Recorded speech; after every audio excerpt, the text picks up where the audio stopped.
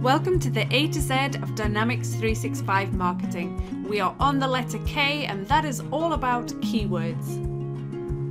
We're going to look at keywords. Now, keywords are really helpful when you are looking for files, you're looking for content, and you want to filter by keywords. It means that it's kind of almost like a search. You can go ahead and filter and see all of your header files, all of your social media icons, whatever it might be.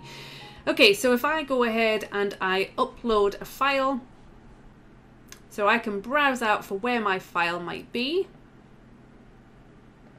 and I can select a file. Now, when I select that file, I can go ahead and I can click to add a keyword. Now I can add a keyword that might already exist, or I can go ahead and I can click and add a new keyword record. And I can go ahead and give it a name. So I might call this social media icons, save and close. And there we've got it. We've got it selected and we can go ahead and add that. And then I can just upload the icon. And once it's done then I can go ahead and save it. Now if I've got additional ones I can go ahead I can upload in bulk. So if I go to my folder where I have them all. I can select as many as I need to and just go ahead and drag those over. And again I can go ahead and then just add the keyword for each one. Or I can do it in mass and I can just go ahead and select that and they've all been put on there. So then I'm uploading and I'm putting all of those in there and they've all been tagged with that social media icons keyword. Now, if I go into the keyword section, we can see there that we've got the active keywords that we've got set up. There's the social media icons one that I've created.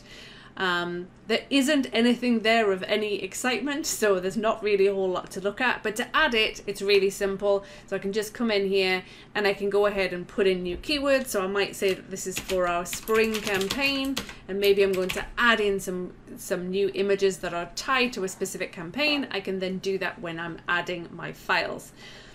If I've got files that already exist and maybe I haven't actually set a keyword on them yet, I could go ahead and I could actually um, click on one and then go ahead and click edit. And then over here on the right hand side, I've got the keyword section and I can go ahead and add an existing keyword and I can say, okay, this is social media icons and then it will link it. And then finally, if I want to go ahead and filter, I can do filter by keyword and then I can look through all of my keywords and I can say I want to filter by header images. When I do that, I'm only left with those images that have that specific filtered keyword. What I can also do is if I am in my marketing emails area, and let's say that I am on one of my marketing emails, and if I want to add in some kind of image block, I could go ahead and I could drag over. And then when I'm looking for my image, I can browse the library and again, I can use that filter by keywords and I can say only show me my header images and then I can pick the correct one. So using those keywords is really helpful to be able to filter and search through those images and be able to find things quickly when I've got my files uploaded. Uh, so make sure that you're taking advantage of those and using your keywords. So again, K is for keywords. Hi, I'm Megan Walker. Thanks for watching. I hope you enjoyed the video and that you learned something from it.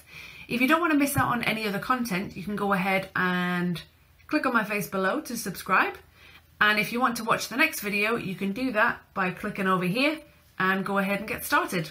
Thanks again.